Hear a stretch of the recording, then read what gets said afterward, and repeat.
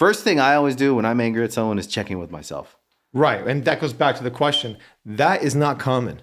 That is very rare. And what you're talking about, you know, in terms like we all got to get to the state that we're like, you know, operating out of love and wanting to help there. It, you know, I love that idea, but it just seems like the world is going the opposite direction. You know, people are much more reactive. They're much quicker to point the blame at someone else.